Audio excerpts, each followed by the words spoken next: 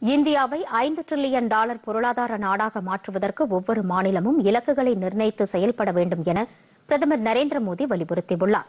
ஹிமாச்சல பிரதேச மாநிலம் சிம்லாவில் நடைபெற்ற அனைத்து மாநில தலைமை செயலாளர்கள் மாநாட்டின் நிறைவு நிகழ்ச்சியில் உரையாற்றிய பிரதமர் இந்த மாநாட்டில் நடைபெற்ற விவாதங்கள் அரசு துறைகளின் செயல்பாடுகளை திட்டமிட உதவிகரமாக இருக்கும் என்றார். குறைந்தபட்ச அரசு அதிகபட்ச ஆளுகை என்ற தாரக மந்திரத்துடன் அரசு செயல்படுவதாக கூறிய அவர் இந்தியாவில் வாழ்க்கையை எளிதாக்குவதை உறுதி செய்ய வேண்டும் என்றும் குறிப்பிட்டார். மத்திய மாநில அரசுகள் இணைந்து செயல்பட வேண்டியதன் அவசியத்தை வலியுறுத்திய பிரதமர் இந்த மாநாட்டில் தெரிவிக்கப்பட்ட புதிய யோசனைகளை தாமதமின்றி செயல்படுத்த வேண்டும் என்றும் அவர் அறிவுறுத்தினார். மாநில அரசு துறைகள் மற்றும் உள்ளாட்சி அமைப்புகளால் மேற்கொள்ளப்படும் கொள்முதல்களை அரசு மின்னணு சந்தையான ஜெம் இணையதளம் வாயிலாக மேற்கொண்டால் நேரமும் செலவும் மிச்சமாகும் என்றும் பிரதமர் தெரிவித்தார்.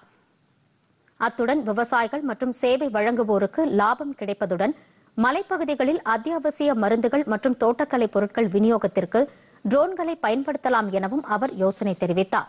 தேசிய கல்விக் கொள்கையின் இலக்குகளை அடைய அங்கன்வாடி மையங்களை தொடக்கப் பள்ளிகளுடன் ஒருங்கிணைக்க மாநில அரசுகள் நடவடிக்கை எடுக்க வேண்டும் எனவும் கேட்டுக் கொண்டார். உள்ளாட்சி அமைப்புகளின் நிதி நிலைமையை மேம்படுத்த மாநில அரசுகள் மேற்கொண்டு வரும் முயற்சிகளையும் பிரதமர் நரேந்திர மோடி பாராட்டினார்.